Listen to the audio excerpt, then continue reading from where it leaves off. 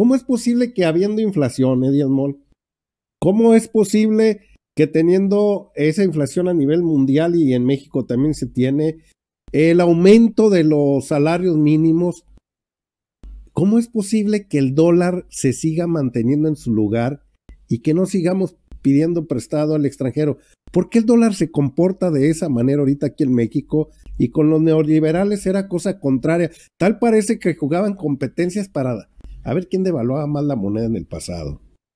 Bueno, no es una competencia, todo tiene su razón de ser. Primero que nada, y estos son datos para tu audiencia y por supuesto que también compartidos contigo, el 80% de las devaluaciones de este país que se dieron en las últimas décadas fueron inducidas directamente por el país.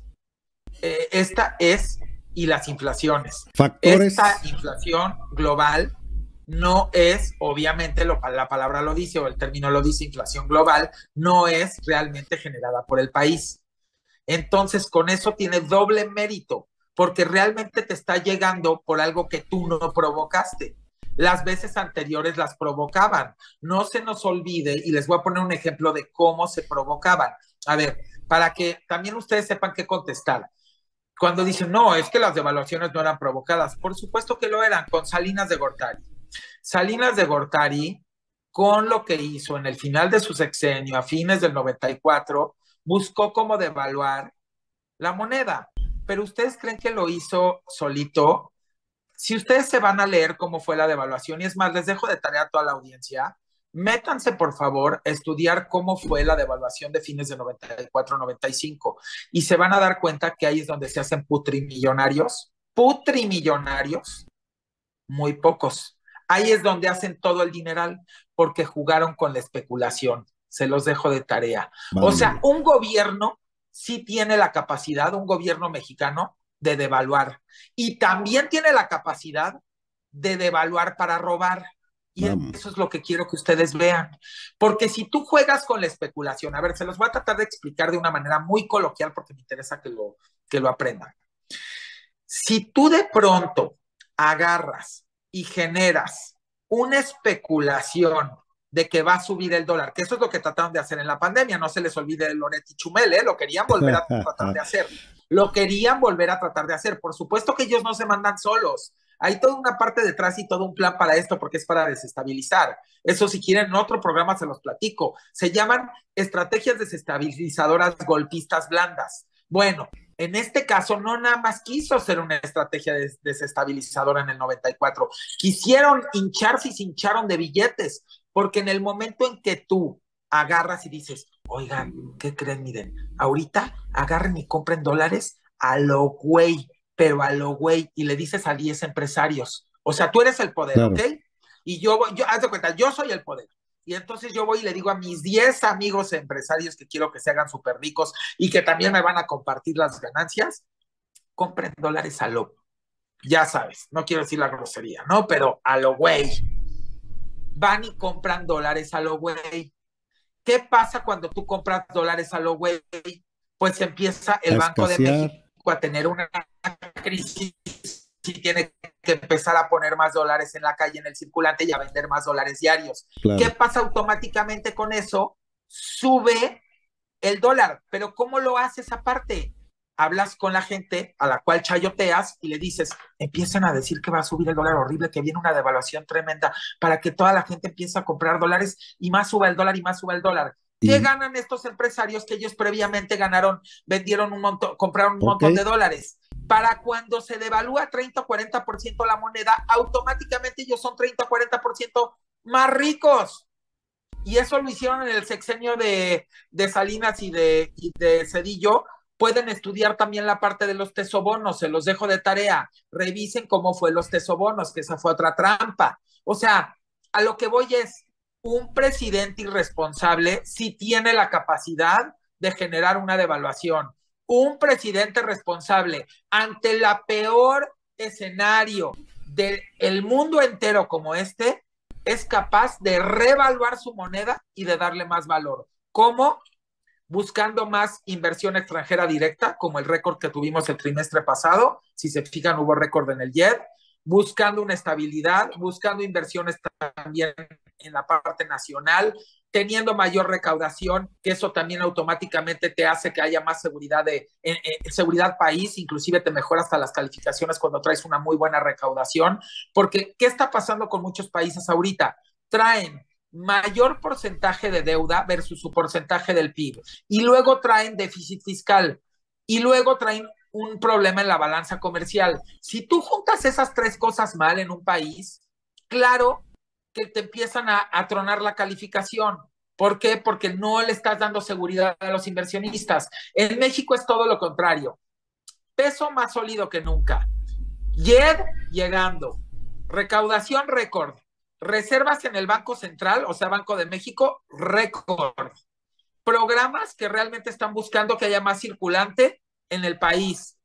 Un país que recibe eh, remesas que prácticamente podrían ser un país y un cuarto. O sea, México tiene un país y un cuarto de ingresos. Y ustedes me dirían, oye, Di, ¿y por qué tienen un país y un cuarto? A ver, explícame eso. ¿Cómo, lo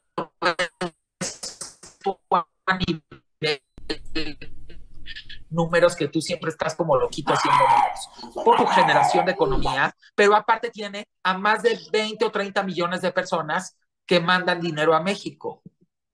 Automáticamente, está, fíjate nada más la virtud que no se han dado cuenta con esto, pero no recibes dinero de alguien que como gobierno te puede costar estarlo pues mantenía, o sea, no le tienes que poner calles, no le tienes que poner alumbrado, no le tienes que poner agua, no le tienes, o sea, es gente que abona al país, pero que no te cuesta como país, porque sí sabes que cada población, o sea, cada persona tenemos una carga para el país, o sea, somos una carga a nivel calles, servicios, electricidad, a nivel eh, eh, carga administrativa, todo. Entonces tú imagínate que tú recibes una lana limpia de polvo y paja por decirlo de una manera, esto para que se le reconozca a todos nuestros paisanos, porque ya estoy harto de que no se les reconozca. Estoy cansado que se den cuenta a los mexicanos y cada uno de los taxis, a sus eh, tiendas de conveniencia, a sus tiendas de ropa, a sus supermercados, a sus eh, aerolíneas, a sus líneas de transporte, a sus tiendas de regalos, y que aparte no tienen una carga que la tenemos nosotros. Porque mira, si yo genero algo aquí en el país, sí, efectivamente, pues yo pago, pero también le cuesto al país, ¿estás de acuerdo? Claro. Dime qué le cuestan ellos al país. Le están viniendo a inyectar dinero al país, están generando que todos esos también, porque aparte es una cosa que no termina, porque recibes las remesas limpias de polvo y paja, no te cuestan esa población, pero aparte en el momento en que se vuelve circulante, se vuelven impuestos para el país que pagas. Entonces es un dinero que es increchendo. Entonces tú recibes 10 pesos como país, pero cuando tú lo conviertes ya en circulante y en gas y en ese el otro, pues se vuelve algo que no se termina. Entonces, y aparte todo lo que generamos como país, y aparte toda la inversión que estamos recibiendo como país, y aparte bien administrada con disciplina financiera, pues cómo no quieren que esté así el peso, pero pues antes era todo lo contrario, antes recibían vacas gordas, los saqueaban, los robaban, los disfrazaban, disfrazaban los proyectos, no lo invertían.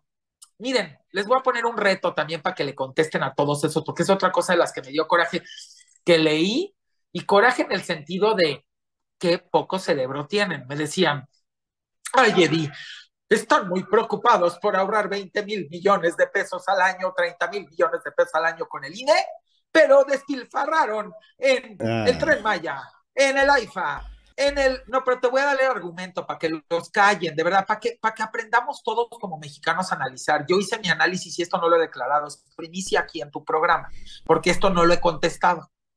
Entonces empiezan, ¿para qué quieren ahorrar eso y hacen tanto rollo cuando por el otro lado, Tren Maya, AIFA, Dos Bocas, se los voy a contestar así?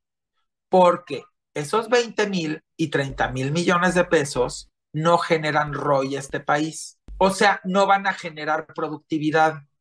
Y esos proyectos que ustedes me mencionan van a generar mm. productividad, porque Dos Bocas va a generar y le va a dejar un chorro de dinero. Y aquí miren, es más, yo así se los digo, si Dos Bocas no le deja utilidades en el mediano y largo plazo pero mega utilidades aparte de la autosuficiencia, casi, casi, casi, ¿eh? porque es muy difícil conseguir para un país el 100% la autosuficiencia energética, pero entre Deer Park, entre Dos Bocas y lo que están eh, regenerando las demás refinerías, le va a dejar dinero.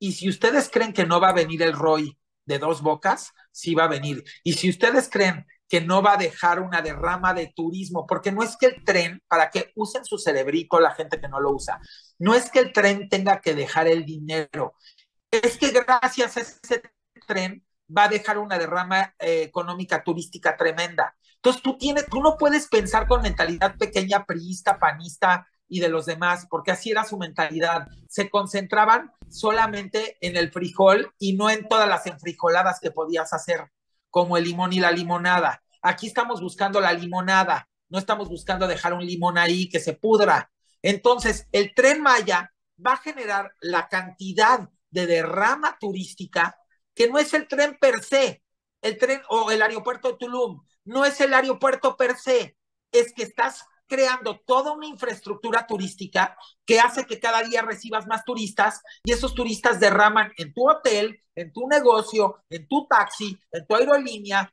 en tu restaurante, en tu, en tu, lo que quieras, en tu balneario, en tu, en tu tienda de joyería de la playa o de donde sea.